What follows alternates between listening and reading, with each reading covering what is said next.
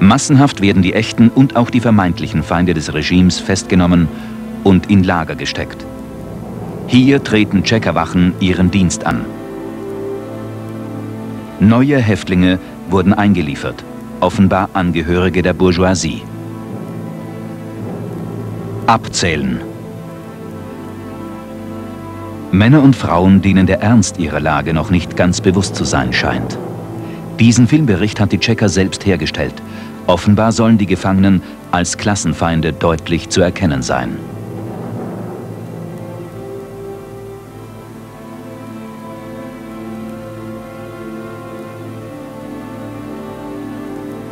Von den Sammelstellen werden die Häftlinge, Männer und Frauen, in die Lager gebracht.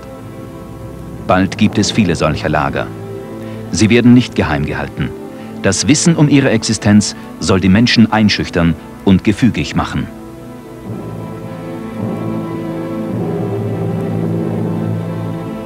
Die Lagerinsassen werden zur Zwangsarbeit eingesetzt.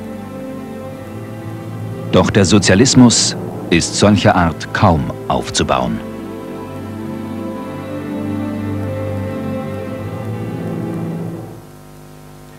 Lenin begreift, auch mit Gewalt und Unterdrückung wird es den Bolschewiken kaum gelingen, aus dem wirtschaftlich rückständigen Russland einen fortschrittlichen sozialistischen Staat zu machen. Eine sozialistische Gesellschaftsordnung kann laut Karl Marx überhaupt nur auf der Grundlage einer vom Kapitalismus bereits hochentwickelten Industrie und Produktion begründet werden. Diese breite industrielle Basis fehlt in Russland. Auch die dazugehörende breite proletarische Schicht Hilfe für den Sowjetstaat kann es laut Lenin in diesem Moment nur von außen geben. Möglichst vom benachbarten und wirtschaftlich starken Deutschland. Aber dazu müsste die Revolution auch in Deutschland stattfinden. Überhaupt. Ganz Europa, die Welt müssten von der Revolution erfasst werden. Lenin setzt auf diese Weltrevolution, nicht zuletzt zur Rettung des Sowjetstaats. Und einen Moment lang scheint es, als wäre seine Hoffnung auch begründet. Im Oktober, November 1918, als der Erste Weltkrieg zu Ende geht, Deutschland und Österreich-Ungarn um Waffenstillstand ansuchen, kommt es in vielen Teilen Deutschlands und auch in Österreich und in Ungarn zu revolutionären Entwicklungen. Und einige davon setzen auf die Ablösung der Kaiserstaaten durch Räterepubliken nach sowjetischem Muster. Am 3. November 1918 meutern die Matrosen der deutschen Hochseeflotte in Kiel. Der Aufstand greift auf Hamburg, Bremen und Lübeck über. In München werden die Wittelsbacher gestürzt. Bayern wird zum Freistaat ausgerufen. Ein Arbeiter-, Bauern- und Soldatenrat wählt den unabhängigen Sozialdemokraten Kurt Eisner zum Ministerpräsidenten. Die revolutionäre Stimmung erfasst auch Berlin. Linke Sozialdemokraten unter der Führung Karl Liebknechts planen die Ausrufung einer Republik nach russischem Muster.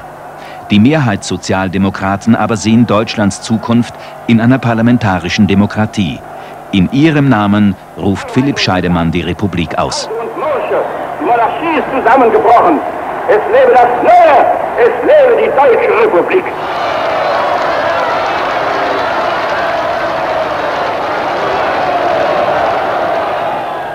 Zur Beruhigung revolutionärer Elemente wird die Abdankung des Kaisers bekannt gegeben. Verfrüht. Wilhelm dankt erst Wochen später ab. Karl Liebknecht, prominenter Führer der linken Sozialdemokraten, versucht noch, eine andere Republik auszurufen.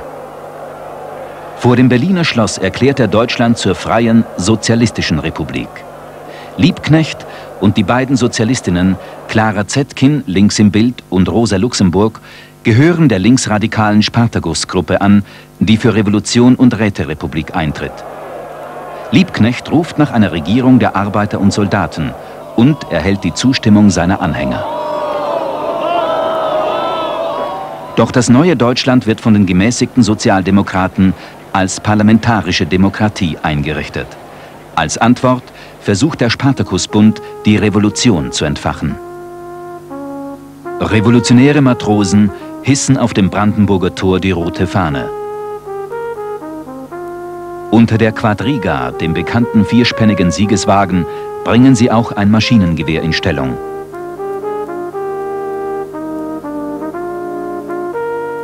Die sozialdemokratische Regierung ruft Freikorpstruppen zu Hilfe. Sie schlagen den Spartakusaufstand nieder.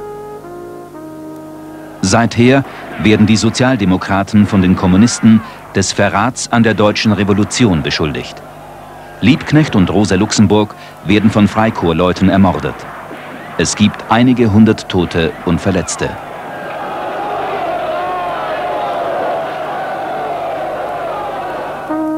Hoch die Weltrevolution heißt es jetzt auch in Bayern, in München. Dort wird der Regierungschef, der Sozialdemokrat Eisner, ermordet. Kommunisten setzen sich an die Spitze der revolutionären Massen und rufen nach bolschewistischem Vorbild die Diktatur des Proletariats aus. Eine Zeit lang kann sich die bayerische Rätediktatur halten. Dann rücken auch in Bayern Freikorpstruppen vor.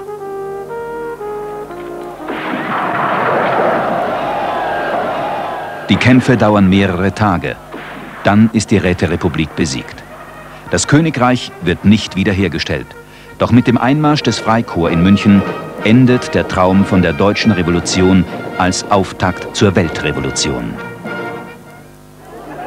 Auch in Wien kommt es zu einem Kräftemessen zwischen Sozialdemokraten und Kommunisten. Es ist der 12. November 1918.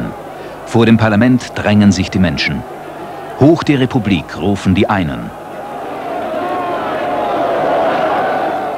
hoch die Sozialistische Republik die anderen und meinen damit die Errichtung einer Räterepublik nach russischem Muster. Die Abgeordneten werden von beiden Seiten bedrängt. Dann ziehen bewaffnete Verbände auf, eine rote Garde nach sowjetischem Vorbild. Aus der rot-weiß-roten Fahne werden die weißen Streifen herausgerissen, die roten Bahnen zusammengeknüpft und vor dem Parlament gehisst. Schüsse fallen. Panik bricht aus. Es gibt Tote und Verletzte. Doch die Republik verfügt schon über ihre eigene Ordnungstruppe, die Volkswehr.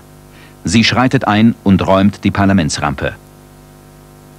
Anders in Budapest in Ungarn. Auch hier gibt es eine starke revolutionäre Bewegung. Los von Habsburg heißt es.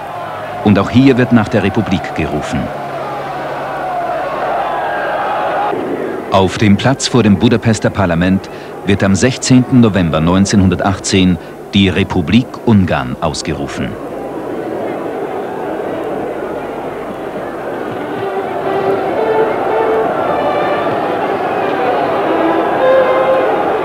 Eine Zigeunerkapelle spielt die Marseillaise.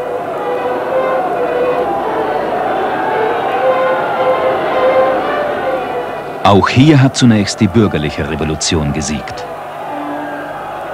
Doch dann kommt ein Mann frisch aus Sowjetrussland, Bela Kun. Als Kriegsgefangener in Russland ist er Kommunist geworden. Jetzt gründet er die Kommunistische Partei Ungarns und setzt zum Kampf gegen die bürgerliche Regierung an. Unfähig der Lage Herr zu werden, tritt diese zurück. Bela Kun, unterstützt von den Sozialdemokraten und unterstützt von den Roten Garden ruft die Räterepublik aus. In Ungarn hat das Rätesystem gesiegt, zumindest vorläufig. Vor dem Marx-Engels-Denkmal in Moskau spricht Lenin. Die revolutionären Prozesse in Europa betrachtet er als Auftakt zur Weltrevolution. Diese bleibt weiterhin seine Hoffnung. Ohne Weltrevolution ohne Sieg der Revolution, vor allem in Deutschland, wäre Sowjetrussland verloren. Mit Hilfe der Revolution in den hochentwickelten Staaten des Westens werde es möglich sein, den Kommunismus auf der ganzen Welt zu verwirklichen. Und das sollen die Träger der Weltrevolution sein. Sie werden als Gäste Lenins in Moskau mit einer Parade begrüßt. Delegierte kommunistischer Parteien und linker Gruppen aus vielen Ländern sind es, versammelt unter Lenins Vorsitz, um eine neue Internationale zu gründen. Die dritte Internationale. Ihr Ziel? Die Weltrevolution. Revolution nach bolschewistischem Muster in jedem Land. Das Konzept ist umstritten. Der Österreicher Karl Steinhardt hier im Bild stellt sich hinter Lenin, sagt Ja zu einer Weltzentrale der Weltrevolution mit Sitz in Moskau. Einige widersprechen. Unter ihnen der deutsche Kommunist Hugo Eberlein, der hier ins Bild kommt. Doch Lenin setzt sich durch. Unter seinem Vorsitz wird am 6. März 1919 die dritte Internationale gegründet, die Komintern, als Machtzentrum zur Revolutionierung der Welt. Die Delegierten treten die Heimreise an. Lenins Konzept, dem sie zugestimmt haben, wird sich als verhängnisvoll erweisen. Von jetzt an sitzen die Kommunisten aller Länder in einem Boot, das allein von Moskau gesteuert wird. Das muss zur Spaltung der internationalen Arbeiterbewegung führen. Otto Bauer, führender Sozialdemokrat jener Zeit, sieht das klar. Auch Bauer hat die Revolution in Russland als Kriegsgefangener miterlebt. Unter dem Pseudonym Heinrich Weber schreibt er im Kampforgan der österreichischen Sozialdemokraten in dem Artikel Die Bolschewiki und wir, Sie können sich nur behaupten, indem Sie die ihnen feindliche Mehrheit niederhalten. Darum mussten sie Zeitungen unterdrücken, die Führer der gegnerischen Parteien einkerkern, die Konstituante auseinanderjagen. Und Otto Bauer zieht den Schluss, das russische Proletariat unternimmt den gewaltigen Versuch, den Sozialismus zu verwirklichen unter der Führung der Bolschewiki. Aber so unvermeidlich dieses Unternehmen ist, so gewiss muss es misslingen. Und Karl Kautsky, einer der großen marxistischen Theoretiker der Arbeiterbewegung, lehnt das bolschewistische Muster wegen dessen Gewalttätigkeit rundweg ab. Er schreibt, keine Form des Kapitalismus macht die Arbeiter so absolut von ihm abhängig wie ein zentralisierter Staatskapitalismus in einem Staat ohne funktionierende Demokratie. Und keine politische Polizei ist so mächtig und allgegenwärtig wie die Tscheka oder GPU. Lenin bestreitet das nicht, aber er rechtfertigt die Gewalt. Der Klassenfeind ist auszuschalten. Nur unter dem Schutz der Gewalt könne eine klassenlose Gesellschaft entstehen. Lenins Mitkämpfer Wladimir Bonch-Brujewitsch mobilisiert dazu die Literaten und Künstler. Regisseure und Schauspieler demonstrieren für eine neue Funktion des Theaters.